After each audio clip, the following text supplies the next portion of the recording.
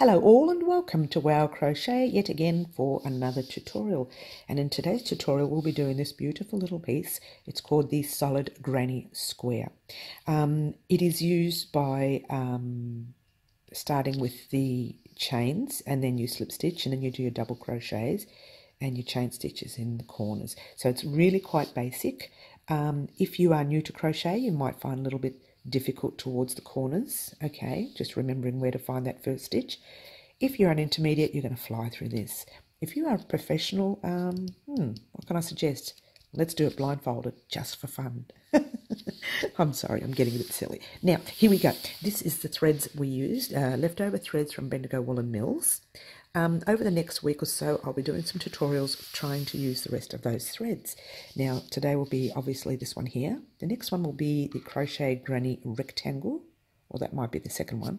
But the very, very next tutorial will be this one here. I'm rather proud of this. It's called Crochet Granny Circle or um, Mandala, if that's what you want to call it. So how pretty is this? I've used the same threads as this, a different colour combination, of course, but um, it gives it a completely different look. Okay, just staring at it, you think you've used different threads when really you haven't. It's just different designs, obviously. So if you want to do this mandala, don't forget to subscribe to my YouTube channel um, and hit the little bell button so you can receive tutorials because it'll be our very next tutorial we're doing. But for today, we are going to do this little guy. Now, uh, things you'll need to know, um, I think I said it before, um, chains, slip stitch, double crochet, that's about it. You'll need to use um, the same hook as your thread. Try and use the exact same hook as your thread when doing the mandala, uh, mandala, when doing the um, solid square because you want it to look a little bit more solid. Mine's a little bit more, you know, gappy because I used the, the next size up. But that's okay, it still looks great. Uh, also, towards the end of the tutorial, yours truly says, ciao for now, don't go away, because I forgot to weave in those ends. And I get back on and weave in a couple of ends to show you how they're done, turned it back around the front, and then said ciao for now the second time. So um, if you want to see the weaving in of the ends, stick around and hear the second ciao for now, and you're done. All right? So guess what? I think we should get started. Let's go.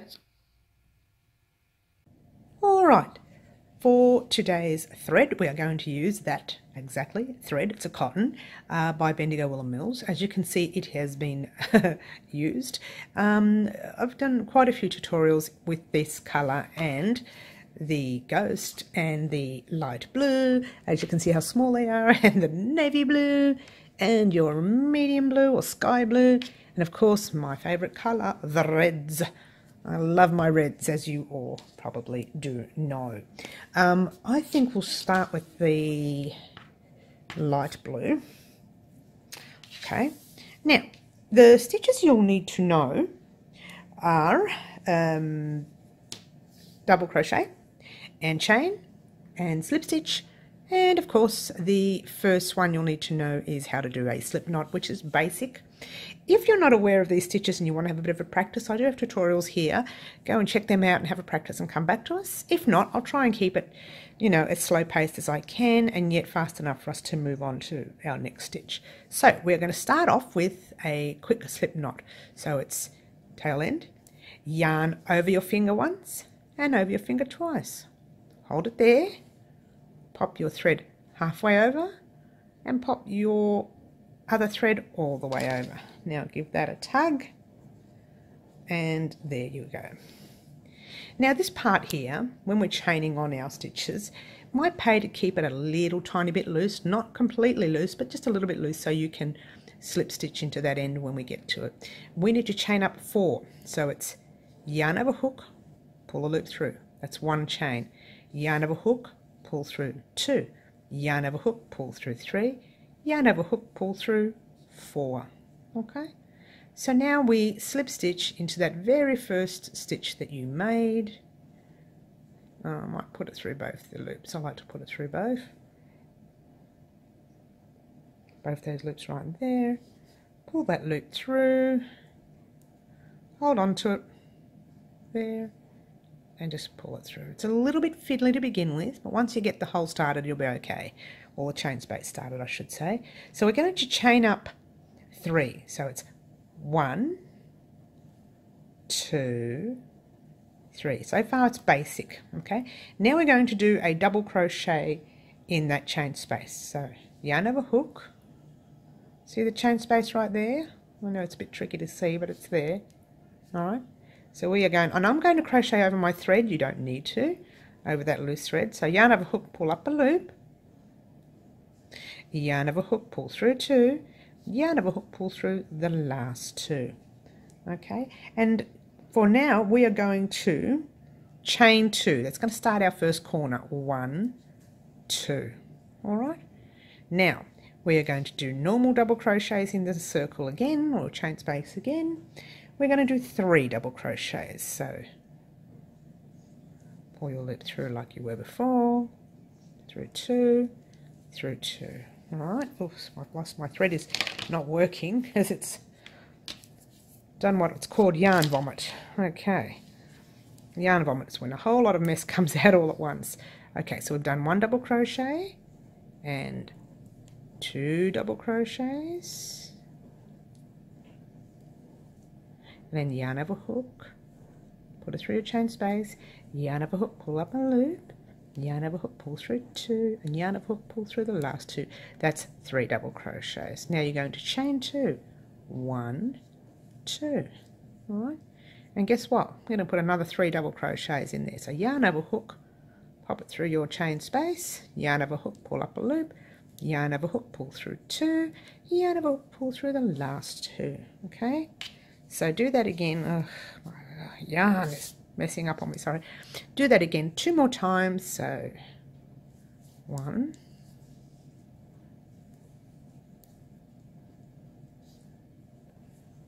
two.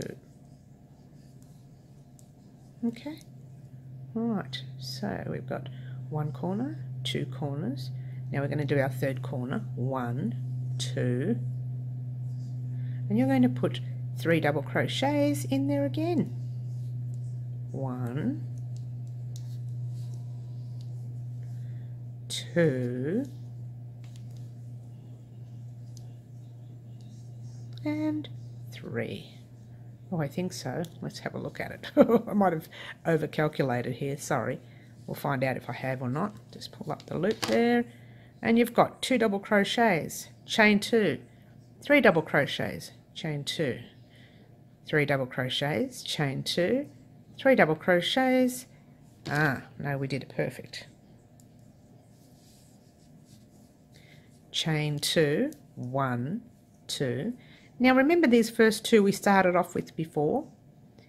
we we would normally put the three double crochets there, but because we've already got those three chain spaces, that's classified as one double crochet. We've got another double crochet there, so we just need to put one more in there. So you put a double crochet in there. Okay, and to close up our square, we are going to, I'll just bring that down there, we are going to slip stitch to that top of that third chain from hook so not from hook, the third chain that we started off with. So there's your slip stitch in there, there, okay? All right, so you can't see the corner properly yet, or the corners yet. You can almost see them, but you will see them in the next round, okay? And I think with this next round, um, I'll just cast off and I'll change colours. Why? Because I can. So you cast off, pull that loop through and just pull it through there.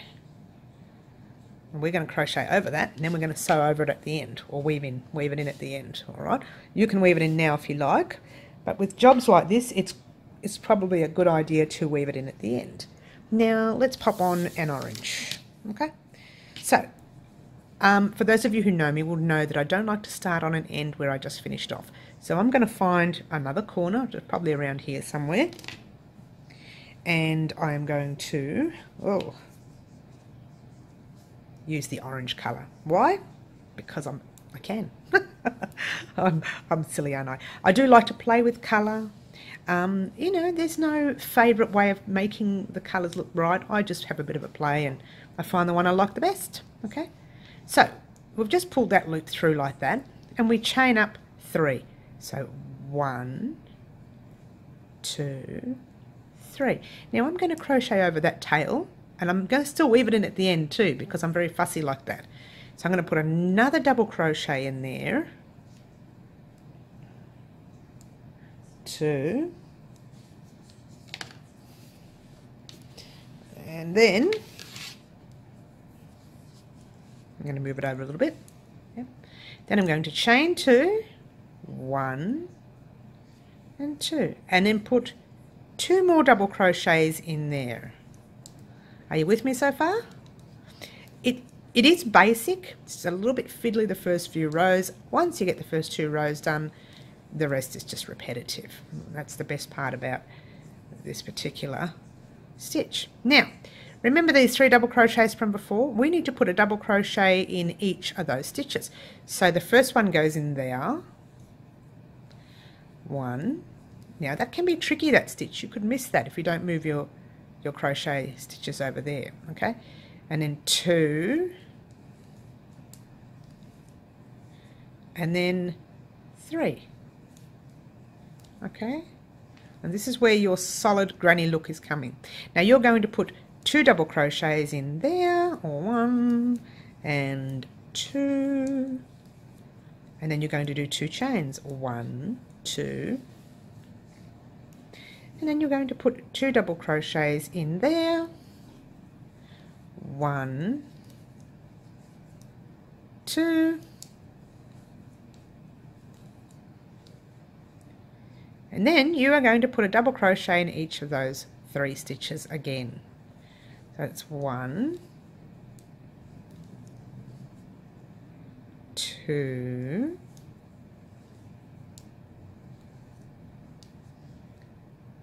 three.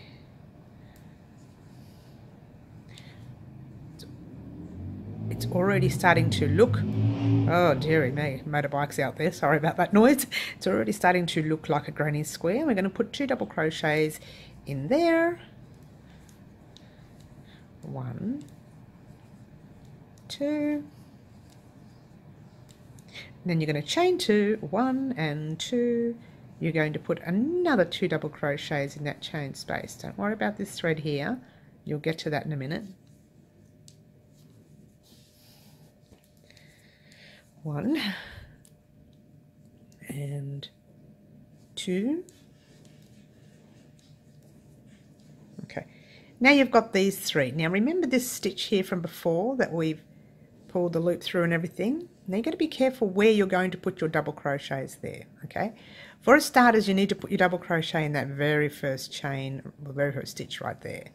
So that's one. Then we're going to put that middle double crochet in there.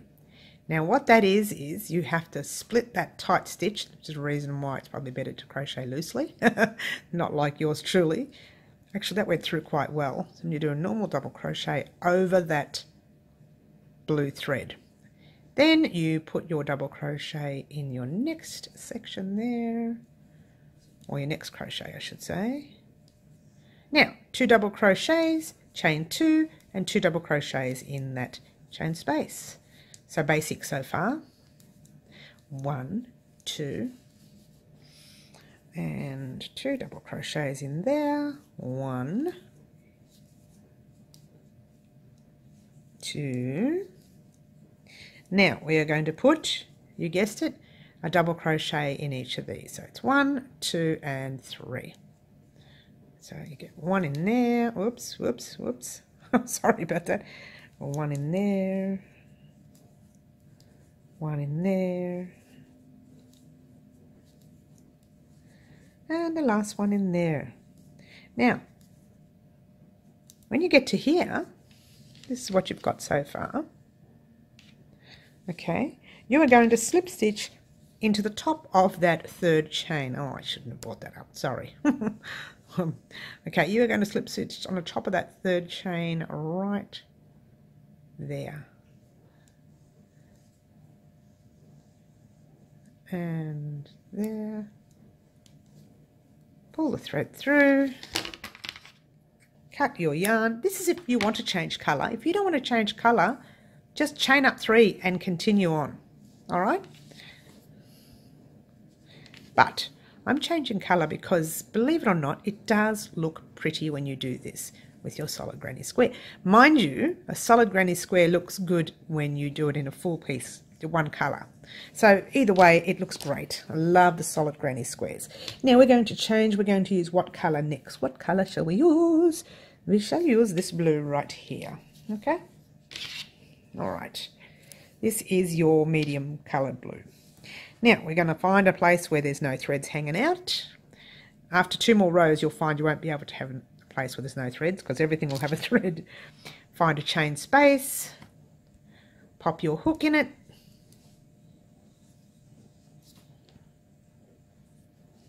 all right so you're going to pull through your thread and it doesn't matter about this little orange thread because we're going to crochet over it now I like to put that thread over here. It just locks it in place. Kind of locks it in place when we're doing our chains. So we're going to chain up three. One, two, three. And you're going to put a double crochet in there, same space. Then you're going to chain two, one, two, and then you're going to put two double crochets in the same chain space. The best part about this row is this is the row that you're going to repeat for the rest of your rounds. So if you want to do four rounds or six rounds or five rounds or 10 rounds, it'll be exactly the same as this row. So you're going to double crochet in that chain right there, right there, right there. Tongue twisting. Oh, there's that thread. Pull that out the way. You don't want that. Okay.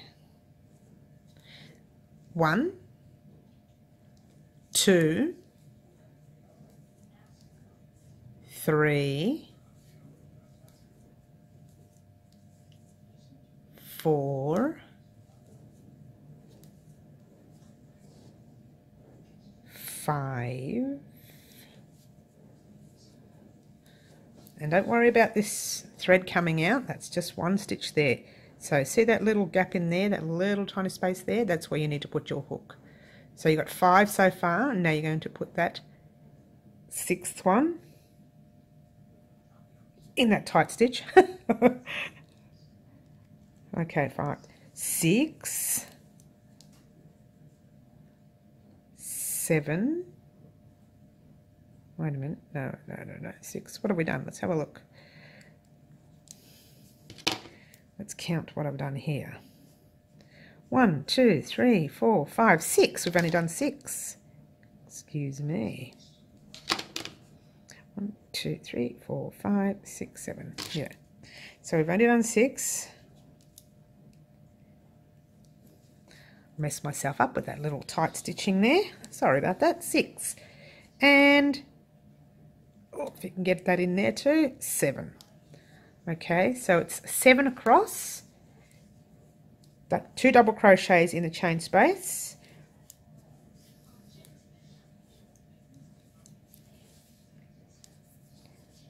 chain two, one, two, and then two double crochets in there.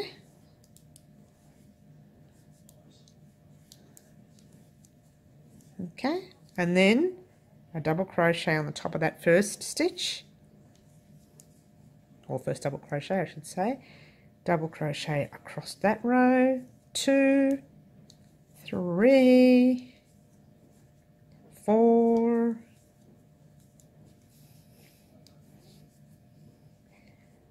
five, six, seven. All right, so what I want you to do, okay, you do, I will, I will blow it up to show you, it might be easier. You do two double crochets, chain two, two double crochets in the chain space. And then you do double crochet one, two, three, four, five, six, seven. And then you get to the chain space and you do two double crochets, chain two, two double crochets, and then you do seven across again.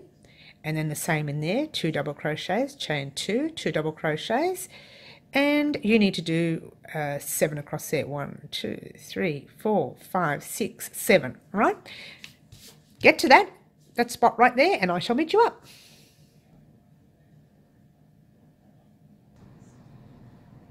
All right, so we got to the end of that row. Looks a little bit wonky at the moment, but that's okay. That'll sort itself out as it grows bigger.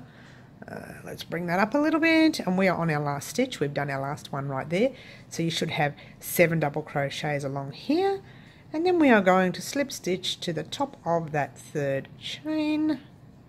And we are going to pull the loop through both loops. And then you want to cast off if you want to. You don't have to.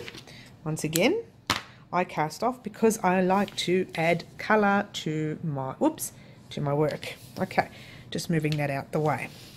Now, if you are really worried that it looks a bit wonky, don't worry, because when you're making anything, no matter what it is, a granny square or a circle or whatever, mandala, whatever you're making, you should, at the end of the project, wash and block everything. Wash it, pin it down in different areas, let it sit there for a couple of days, come back, pull it off. Trust me, it will be as shapely as you want it to be. Well, as you've shaped it when you pinned it down. All right, so next colour we are going to use this beautiful little ghost colour. I love this ghost colour. Ghost colour. It is my favourite. A bit of a knot right there. I'll cut that off though. Okay. All right. Now we find, again, we find a, a place where there's no thread. looks like there's thread everywhere now. No, right here. Yep, right there. We are going to do exactly what we did before. Oops, too high. Sorry about that. We are going to slip stitch through, which we've done already. Pulled our little thread through there, I should say. Ah. All right. Pass that over. And we're going to chain up three. One, two, three and a double crochet in the same place. And then chain one two and then two double crochets in that same spot. Okay? One two. Now before we did seven double crochets across. Let's pull that thread back now. I'm not doing seven this time. Okay I'm going to count all along here as we're doing it so it's one,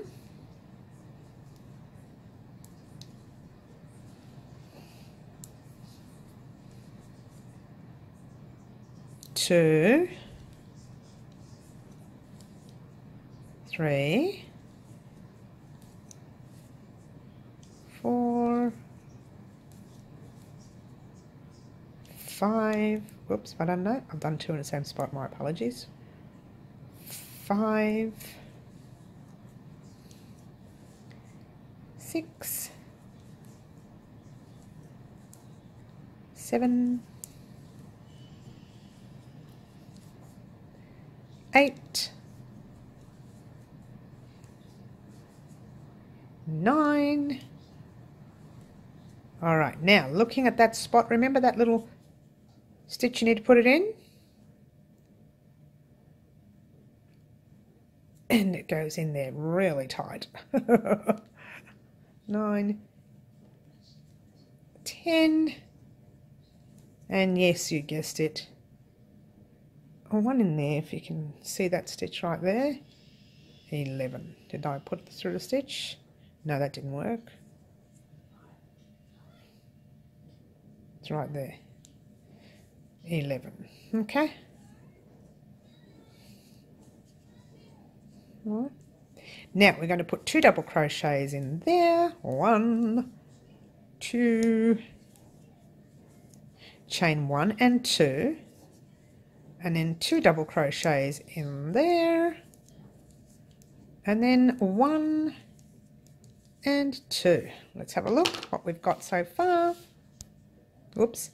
Okay, we have two double crochets, chain two, two double crochets, then 11 double crochets across, two double crochets, chain two, and then you'll do 11 across, 2, 2, 2, 11 across, 2, 2, 2, 11 across. And when you get to that place, right there, stop and I'll meet you up.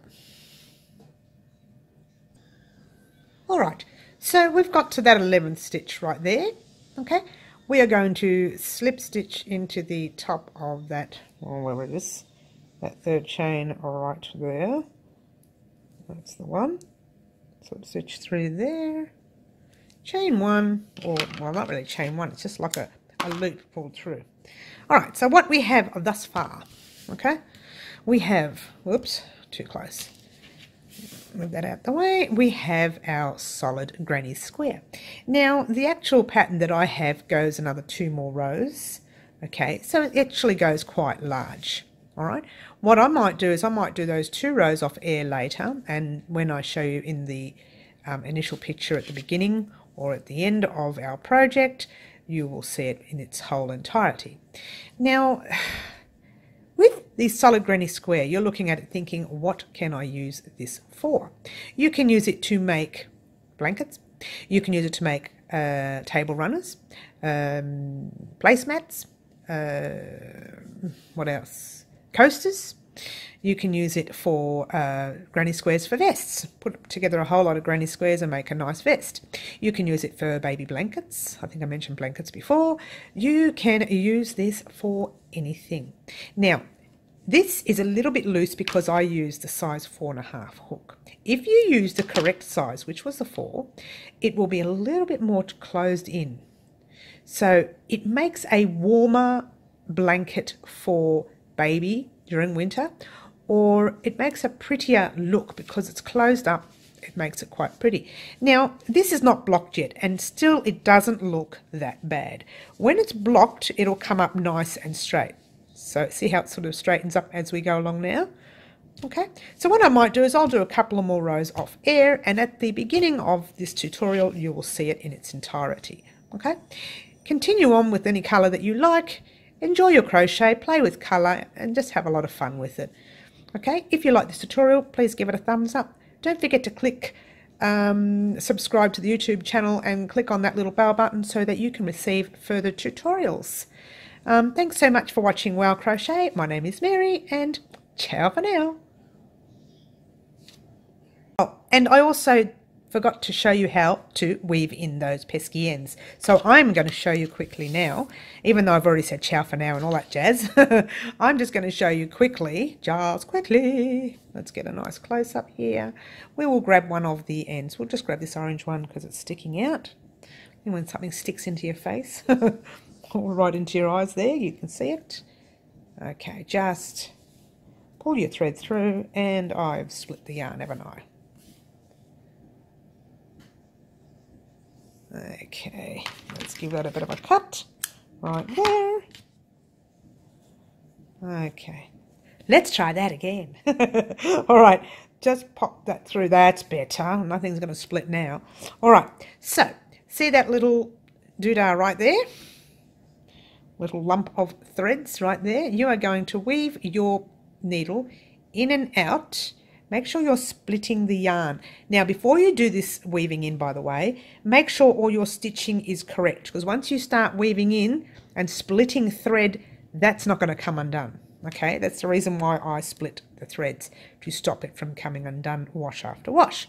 Okay, so you pop that through and there you go. Now, you're going to do it again. Why? Because if you're anything like me, you're a stickler. if not, then you can leave it like that it's not likely that it's going to come undone because we passed it through twice already because we crocheted over it the first time. We pass it through the second time. Make sure you can't see the needle, which means you can just pull that thread through right there. It's a little bit tougher because it's splitted, splitted the yarn. It split the yarn, okay? So that's, that's that. All right, so continue on with all your other ends. What I might do is show you this end here because this is the end that had that one stitch through. Okay, so we'll do both of them, so the corner ones and the one stitch, so you see them both. All right, now it's a little trickier this end because you don't have much room to play with. Now if you wanted to, you could go in and out of the actual stitch like that, which I'm not going to because I find that a little bit too thick. But I'm going to go in and out of this stitch here at the back. Make sure you're weaving through the back and you can't see the needle in front. Okay, so weave through, pull that through there. Ta-da!